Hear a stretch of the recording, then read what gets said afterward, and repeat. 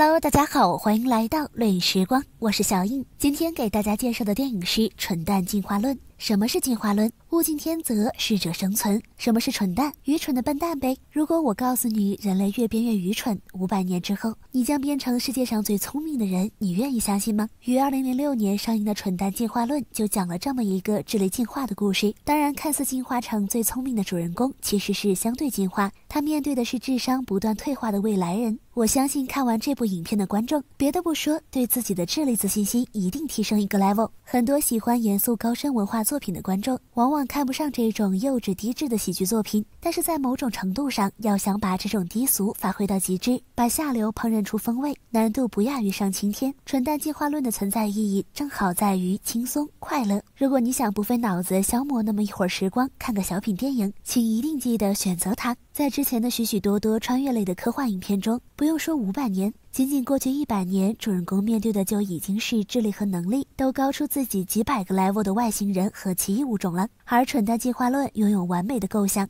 导演和主创偏偏反科幻电影的道路而行之，用五百年后人类全部变蠢的巨大反差带来十足的喜剧效果。大量充斥插科打诨、屎尿屁的桥段，低俗是真低俗，好笑也是真好笑。虽然说下里巴人是本片的一大特点，但真小人好过伪君子。其实本片的逻辑和周星驰系列电影是异曲同工的，喜剧的外核包裹的绝对不止简简单单的喜剧二字。影片看似幽默，但是这种幽默是黑色的、反乌托邦的。反观当年陈凯歌的《无极》，影片大玩各种新奇概念，视觉和台词都达到了极限，然而最后却被骂装逼。这充分说明看电影就像看人，不能只看外表。影片的完成度很高，故事流畅。如果非要刻薄一点挑刺的话，那么女主的颜值是影片最大的美中不足。这是一部无脑电影，然而无脑外衣下包裹的是另一重更值得我们深思的隐忧。影片上映于二零零六年，但搁到二零一八年的今天来看，简直成了活生生的预言。二十世纪是大师辈出、文化繁荣的一百年，到了二十一世纪，却似乎越来越滑向文化的反面。正如前段时间大火的谈话节目《十三邀》中的许知远和马东的谈话，现在的年轻人不再追求生命的价值和高雅的文化，消解了追问生存意义的渴望。反智主义和犬儒主义盛行，这可不就是越变越傻了？我是小印，更多精彩电影，欢迎订阅《绿影时光》。